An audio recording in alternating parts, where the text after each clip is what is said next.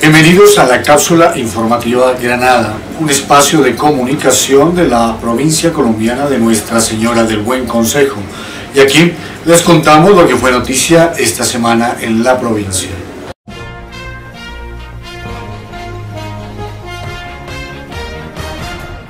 El fortalecimiento del conocimiento es una estrategia que garantiza el relacionamiento institucional a través de capacitación formal en alianza con el SENA desde el área de terapia ocupacional del Hospital San Rafael de Pasto se ha establecido una alianza estratégica con el Servicio Nacional de Aprendizaje SENA a través del curso sobre técnicas agropecuarias, con el fin de fortalecer los servicios asistenciales y brindar mejor atención terapéutica a los pacientes. El resultado de esta alianza permitió a 20 personas entre colaboradores y asistidos recibir el certificado por la participación en esta actividad pedagógica. Los asistidos hacen parte del programa de inimputables, egresados del programa de rehabilitación en conductas adictivas, colaboradores y terapeutas ocupacionales.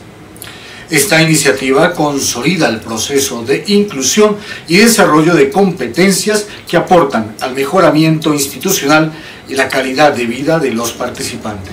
Mi nombre es Carlos Acosta, soy el coordinador académico del sector agroindustrial del Centro Lope del SENA Regional Nariño.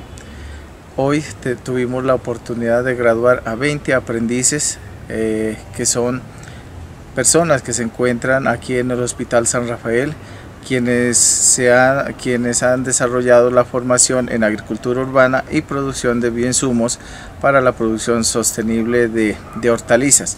Verdaderamente el SENA está comprometido en cumplir con el convenio con el hospital y realmente apoyar lo que es el, el proyecto que tienen ustedes, que es el proyecto de terapia ocupacional.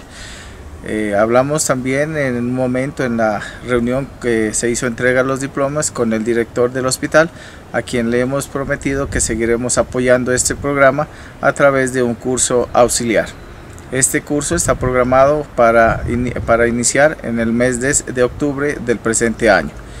Como SENA estamos contentos de apoyar este tipo de población, una población vulnerable que creemos que con la formación vamos a ayudar a su proyecto de vida. Continuando con el compromiso con la comunidad, también en el Hospital San Rafael de Pasto, desde el área de responsabilidad social empresarial, se llevó a cabo el taller sobre enfermedades de transmisión sexual en la Comuna 6, Barrio Caicedo Alto.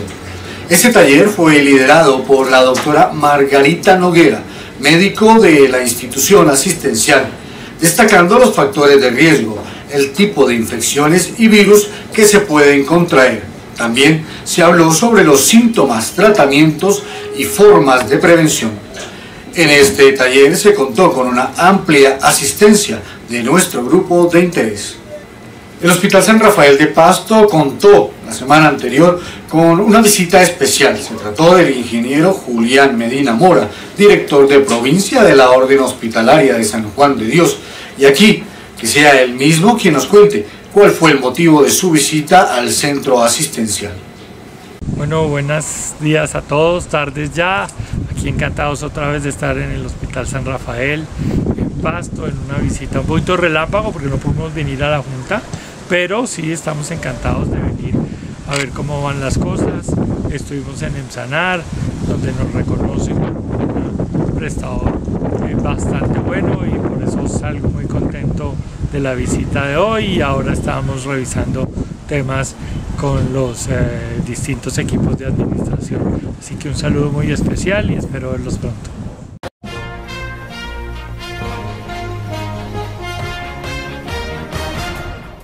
La educación STEAM llegó al Colegio Bilingüe San Juan de Dios. STEAM es una sigla que proviene del inglés y que traduce ciencia, tecnología, ingeniería y matemáticas. Es una estrategia que permite a los estudiantes hablar de la vida real a través de las clases diarias. Eh, la inquietud de esta propuesta surge hace un poco más de cinco años al ver que en la Universidad Minuto de Dios algunos estudiantes de las ingenierías y las tecnologías tenían muchas dificultades con la matemática, entonces algo que se pensó es cómo hacer para que ellos realmente puedan comprender el sentido de la matemática, o sea que una regla de tres es mucho más que hacer la multiplicación o la división, que el límite es mucho más que solamente la fórmula en donde le sale un cálculo, sino que lo que significa filosóficamente pasar un límite, lo que significa en una construcción de un puente, no hacer un cálculo bien para que el límite llegue a su punto y no se caiga, en fin.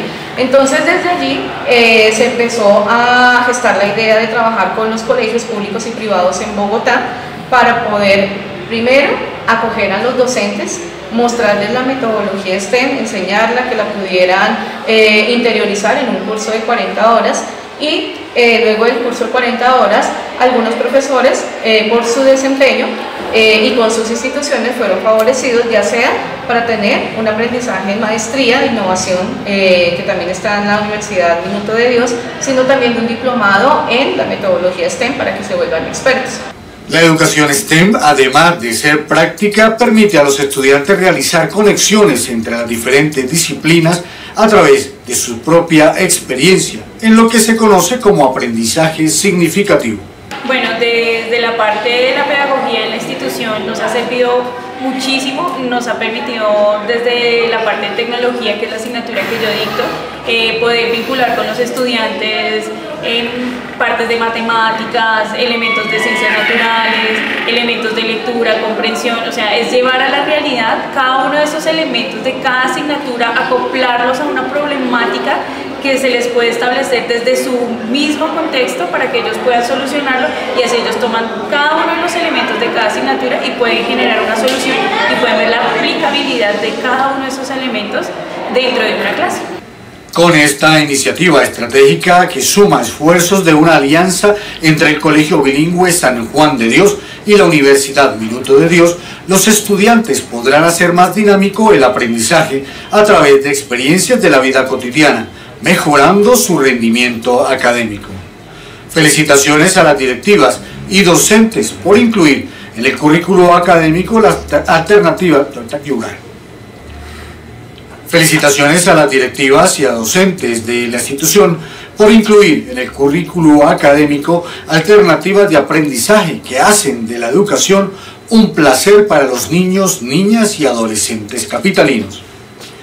Y hasta aquí les contamos lo que fue noticia en la provincia colombiana de Nuestra Señora del Buen Consejo, Orden Hospitalaria de San Juan de Dios. Y hasta nuestra próxima emisión.